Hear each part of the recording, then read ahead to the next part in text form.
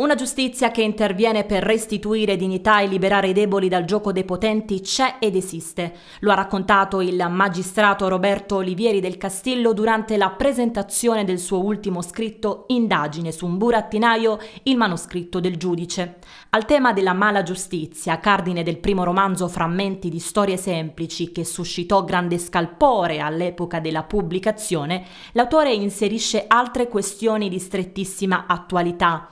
Il fenomeno dei migranti, la piaga dello sfruttamento e magistrati accomunati da vizi privati. L'ispirazione viene sempre dalla realtà e la realtà del, dei nostri territori ha dato ampio eh, diciamo, argomento negli, negli, anni passati a situazioni paradossali di, di, di mala gestio del, del, potere giudiziario. Nel mio romanzo ci sono sicuramente dei riferimenti di, eh, diciamo, diversi eh, circa l'ispirazione diciamo, corretta del servizio.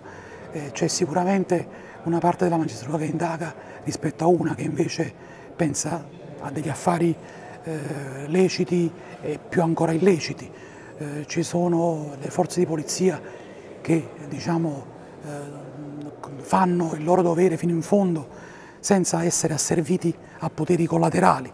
Eh, c'è la religione anche qui con una duplice diciamo, essenza, perché c'è parte del, di un, c'è un religioso che non si comporta come si deve, c'è invece un religioso che eh, prende le difese del, del, dei deboli e fa quello per cui è entrato nella, nella, nel servizio religioso. Insomma. La presentazione del libro del magistrato, svoltasi a Barletta, si è inserita nel progetto a cura del settore Giovani di Azione Cattolica dell'Arcidiocesi di Trani dal titolo Semi di legalità.